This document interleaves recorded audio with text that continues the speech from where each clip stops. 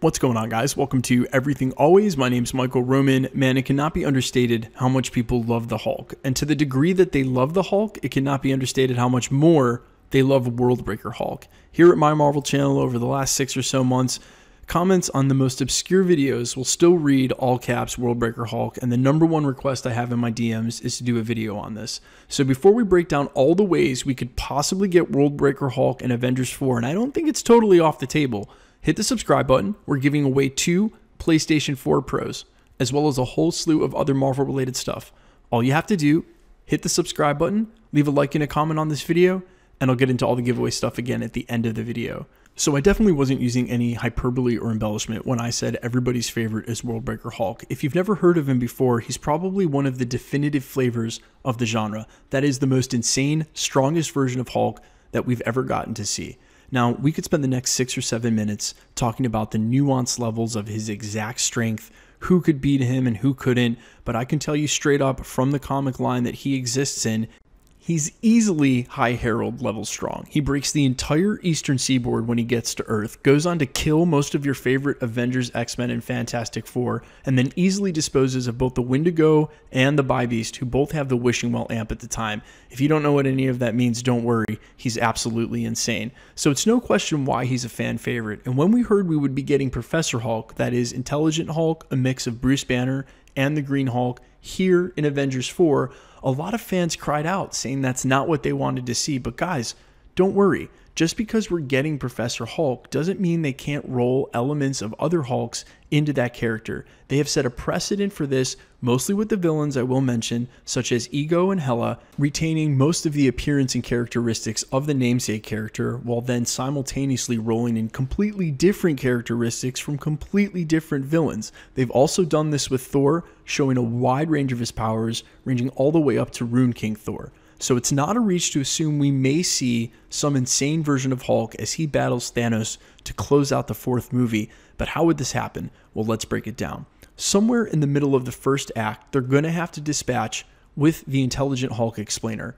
Either it will have already happened or is going to take place. And here at the channel, we've named Shuri as a likely candidate to be integral into figuring out how to combine Bruce Banner and the strength of the Hulk so that they both feel like they have a hand on the wheel and are enjoying the ride.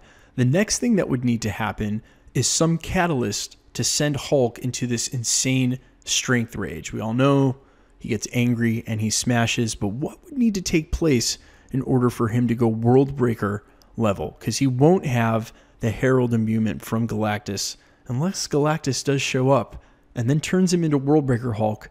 I don't know how they're going to do that in this movie. We're already reaching here to begin with. So I think there's some more likely scenarios that could set this off. The first one is a death. Either Natasha Romanoff, his love interest, or even the death of a close friend like Tony or Cap could send the Hulk into a blinding rage. And while we might not call him Worldbreaker Hulk, and while we might not see the most insane levels of power like him breaking off a seaboard, we could see elements of the Worldbreaker Hulk show up in this crazy level where he cannot be beat. The second thing that could happen is, well, they could combine him with Pym Tech. I've seen this on Reddit a couple times and thought it was interesting, but you know how Ant Man turns into Giant Man? Well, what would happen if the Incredible Hulk used Pym Tech to turn into Giant Hulk? What are you going to do then, Thanos? But there's something else.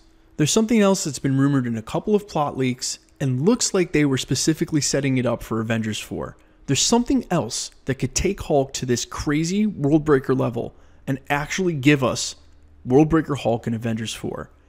And that's if Hulk gets his hands on an Infinity Stone, namely the Power Stone.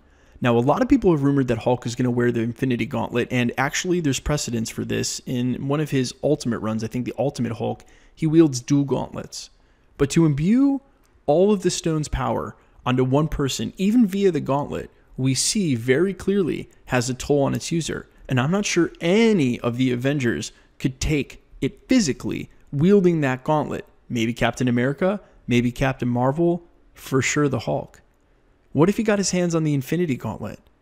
What if he got his hands on the Power Stone and ingest it? Shout out Alex Ash, my boy, really thinks Hulk's going to eat the Power Stone and go nuts. And you know what? I'm not even hating. I would love for that to happen. I really hope they're doing that right now at the CGI house, trying to figure out what Hulk's going to look like glowing purple because he ate the Power Stone. But outside of that, if he got his hands on the Infinity Gauntlet, if they do use the Quantum Realm to travel to alternate realities or back in time, to collect the Infinity Stones and build their own Stark Tech Vibranium Gauntlet, or go back to Eitri, or go back in time to Odin and grab the old gauntlet, someone's going to have to wear it. And if it's not Tony Stark and it's not Captain America and it's not Captain Marvel, which for all certain reasons could be, but also seem unlikely given who those characters are, then Hulk would be the one who could wield it. And if Hulk gets his hands on the Infinity Gauntlet, he could do whatever he wanted and turn into the most powerful version of himself, which would be Worldbreaker Hulk, which means there is a chance we're going to see something like this in Avengers 4.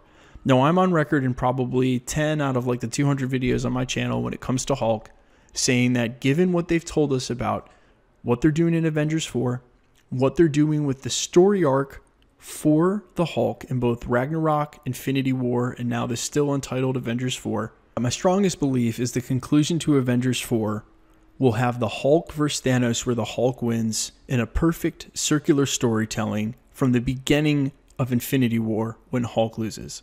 And if this final battle is going to come down to the Hulk versus Thanos, it would be absolutely amazing fan payoff to give us some version of Worldbreaker Hulk destroying and or killing Thanos and whatever else is this new threat on the horizon.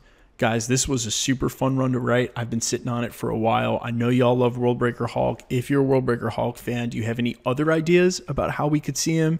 Let me know in the comments. Also, before I let you go, let's get into that giveaway stuff. So, we're giving away two PlayStation 4 Pros, one at the 100 and one at the 150,000 subscriber mark. If you could, hit the subscribe button, leave a like and a comment on the video, that enters you to win immediately. We're also giving away this awesome Marvel license, limited edition, Trendsetters, limited run 2500 film plaque commemorating the first Avengers movie containing 10 original film cells from the movie. You used to be able to buy these on eBay, Wayfair, and some other places, but they have all since been sold out for a while. So if you want to win this, same rules apply. Hit the subscribe button, leave a like and a comment on this video, and then hit the notification bell because the more videos that you like and comment on, the better chance you have of winning. My name is Michael Roman. This is Everything Always. Stick around, we'll be posting again real, real soon.